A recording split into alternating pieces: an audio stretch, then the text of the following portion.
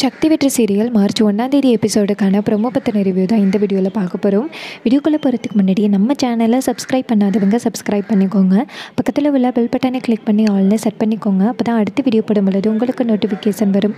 வாங்க வீடியோக்குள்ளே போகலாம் எபிசோட் எப்படி ஸ்டார்ட் ஆகுதுன்னா கார்த்திக் வந்து வீட்டுக்கு வராரு. வீட்டுக்கு வந்து பார்த்தா கோகிலாவுக்கு ரொம்ப உடம்பு சரியில்லாமல் இருக்குது அப்போ கார்த்திக் கேட்குறாரு அம்மா என்னச்சுமா அப்படின்னு. அதுக்கு கோகிலா சொல்கிறாங்க என்னப்பா உனக்கு எத்தனை தடவை கால் பண்ணோம்? எனக்கு நெஞ்சு வலிப்பா? அப்படின்னு. அதை கேட்ட உடனே கார்த்திக் ரொம்ப அதிர்ச்சி ஆகுறாரு அப்போ கோகிலாவோட அப்பா சொல்கிறாரு இங்கே பாருப்பா இனிமேல் வந்து அம்மாவுக்கு அதிர்ச்சியான விஷயம் எதுவும் சொல்லாத. அம்மாவுக்கு வந்து ஃபஸ்ட்டு ஹார்ட் அட்டாக் வந்திருக்கு அப்படின்னு. அதை கேட்ட உடனே கார்த்திக் ரொம்ப ஃபீல் பண்ணுறாரு ஏன்னா இப்போ தான் யமுனாவை கல்யாணம் பண்ணிட்டு வந்திருக்காரு. அந்த விஷயத்த கோகிலாட்ட சொல்லலாம் அப்படின்னு நினச்சாரு.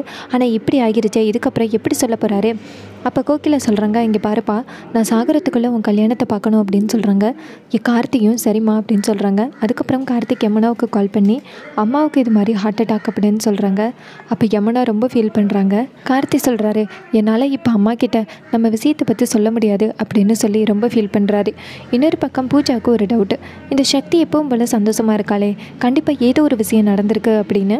அப்போ புஷ்பாவோட ஆட்கள் சில பேர் வந்து பூஜாவுக்கு கால் பண்ணி சொல்கிறாங்க இது மாதிரி இன்றைக்கி வந்து யமுனாவுக்கும் கார்த்திக்கும் கோவிலில் கல்யாணம் நடந்துச்சு அப்படின்னு. அதை கேட்ட உடனே பூஜா வந்து செம்மையாக ஷாக் ஆகுறாங்க.